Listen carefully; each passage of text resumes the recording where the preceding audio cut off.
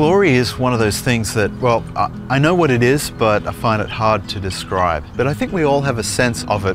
Maybe a taste of our own personal glory for a job well done, or beholding someone else's glory, or the glory of a sunrise, or the glory of a sunset.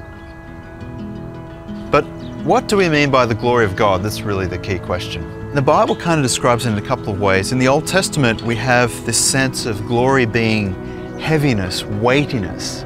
Glory has to do with gravitas. In the New Testament, what we have is a sense of glory being radiance, of splendor, of brilliance, of light, something really shiny and magnificent. But actually, I think it's a combination of those ideas when it comes to the glory of God. I think ultimately the glory of God is the radiance of His character.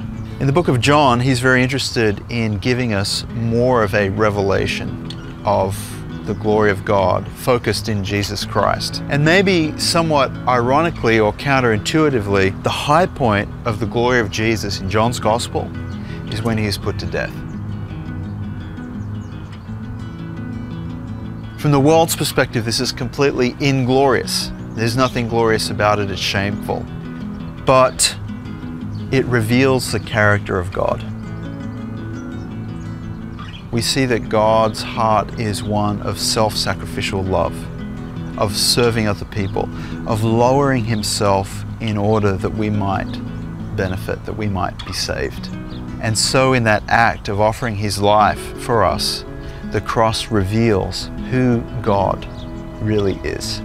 And therefore, it is the high point of glory because glory is the radiance of God's character.